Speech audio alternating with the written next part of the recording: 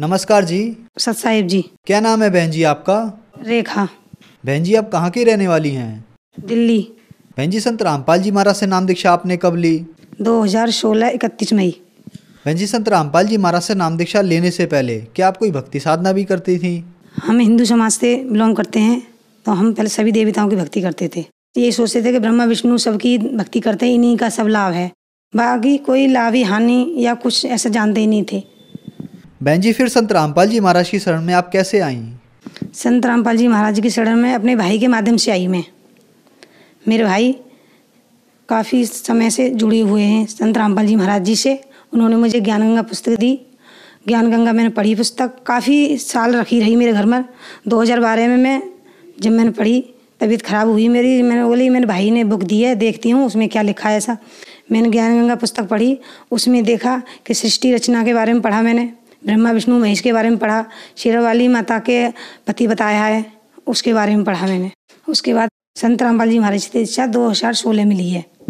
बहन जी संत रामपाल जी महाराज से नाम दीक्षा लेने के बाद श्रद्धालु को बहुत सारे लाभ प्राप्त होते हैं चाहे वो आर्थिक हो भौतिक हो मानसिक हो या शारीरिक हो। तो क्या संत रामपाल जी महाराज से नाम दीक्षा लेने के बाद आपको भी कुछ ऐसे लाभ प्राप्त हुए? हाँ जी सर जी मेरे को लाभ हुए हैं। मैं कहीं पे भी सफ़र नहीं कर सकती थी बिल्कुल भी। जैसे ससुराल आना या कहीं और जाना, रिश्तेदारियों में जाते हैं, शादी पार्टियों में जाते हैं, कहीं दूर की पड़ जाती है तो बसों में कोई सफ़र नहीं कर सकती थी मैं बिल्कुल भी। मेरे को उल्टी होती थी बहुत ज़्यादा।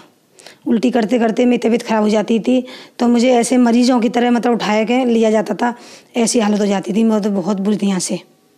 फिर मैं संत रामपाल जी महाराज की शरण में आई हूँ, जब से ना कोई उल्टी होती है, ना कोई सर दर्द होता, कुछ भी नहीं होता। मैंने संत रामपाल जी महाराज जी से प्रार्थना की थी कि अगर आप परमात्मा हो अच्छे सच्चे परमात्मा है, भगवान आए हुए हैं सृष्टि पर।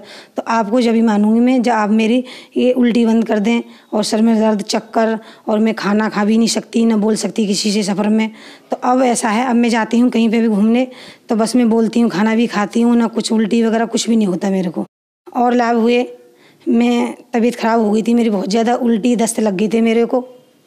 तो मैं डॉक्टर शाम के टाइम ग्यारह बज गए थे रात। सबको देख देख डॉक्टर घर पे भी आए। काफ़ी उन्होंने दवाई दूरी करी मेरी। नहीं ठीक हुआ मेरे को, कुछ भी फ़ायदा नहीं पड़ा। मुझे हॉस्पिटल में भर्ती किया। दिल्ली में मावी हॉस्पिटल है। उसमें मुझे भर्ती किया। रात को ग्यारह बजे किया। दूसरे दिन ग्यारह बज गए। कोई फ़ायदा नहीं हुआ मेरे को। उसके बाद फिर मेरे हस्बैंड और मेरे देवर बोले कि ये तो फ़ायदा ही नहीं हो रहा है यहाँ पर। फिर मेरे जो आस पड़ोस के मुझे देखने आए। फिर बोले कि यहाँ फ़ायदा यहाँ ठीक ही नहीं हो रही है तो यहाँ क्यों डर रखा है आपने? फिर उसके मुझे घर पर ले गए सारे जने, कि यहाँ फ़ायदा नहीं है तो हम दूसरे हॉस्पिटल में भर्ती कराएँगे।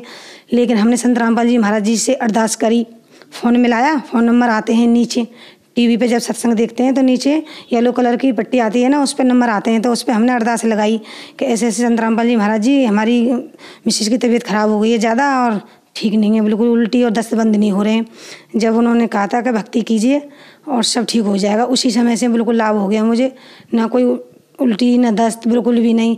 दवाई वैसे मुझे डॉक्टर ने कहा था कि आप कम से कम एक हफ़्ता दवाई खानी पड़ेगी, कमज़ोरी ज़्यादा आ गई आपके शरीर में। लेकिन मैंने सिर्फ़ दो दिन दवाई खाई संत रामपाल जी महाराज की शरण में आने से। बिल्कुल उन्हीं की शरण में आने से अब मैं ठीक हूँ बिल्कुल। कुछ भी परेशानी नहीं है, ना कोई सर दर्द होता, ना कोई बुखार, ना खांसी, कुछ भी नहीं। और मेरी दवरानी है, मेरे से छोटी हैं। वो उन्होंने दीक्षा मेरे से दो महीने बाद में ली थी। मेरी दौरानी की अचानक ही तबीयत ख़राब हो गई थी, पेट में दर्द हुआ था काफ़ी तेज़। हमने डॉक्टर को चेक कराया। जो हमने डॉक्टरों को चेक कराया था ना तो उन डॉक्टरों ने कहा था कि इनके पच्चीस पथरियाँ हैं पेट में।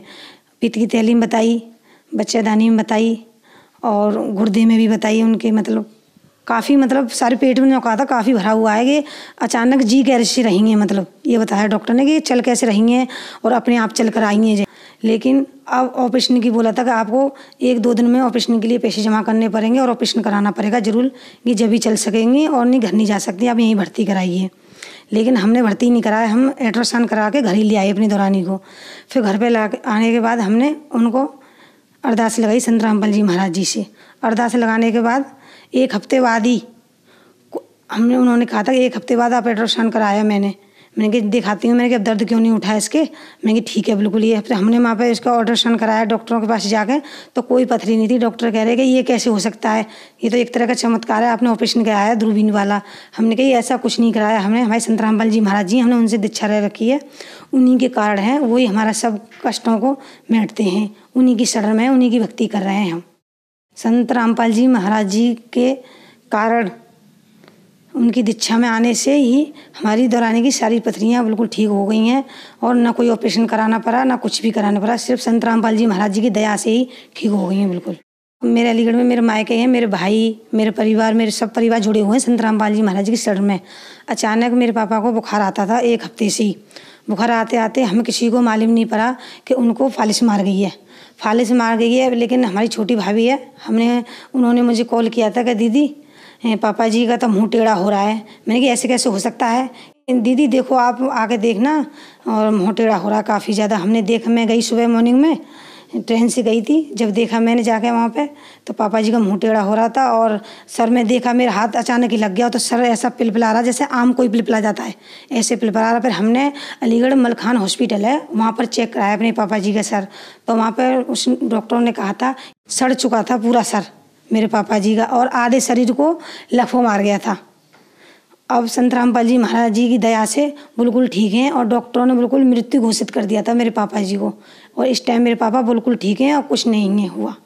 बहन जी, संत रामपाल जी महाराज से नाम दीक्षा लेने के बाद आपको बहुत सारे लाभ मिले। आपकी जो बीमारियाँ थी, वो संत रामपाल जी महाराज की कृपा से ठीक हुई। और आपने बताया कि आपकी देवरानी के अलग अलग जगह 25 पत्रियाँ थी। वो भी संत रामपाल जी महाराज की कृपा से बगैर ऑपरेशन के ठीक हो गई। ये एक अद्भुत चमत्कार है। और आपके पापा का सर जो सड़ गया था, उन्हें डॉक्टर ने मृत घोषित कर दिया था। संत रामपाल जी महाराज से नाम दीक्षा लेने के बाद वो भी ठीक हो गए।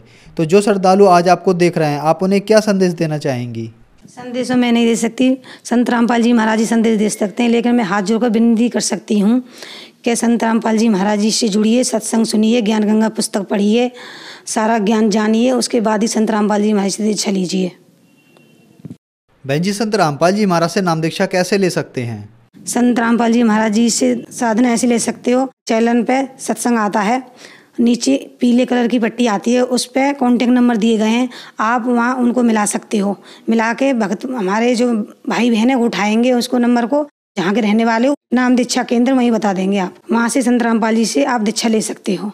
धन्यवाद बहन जी। सत साहेब जी।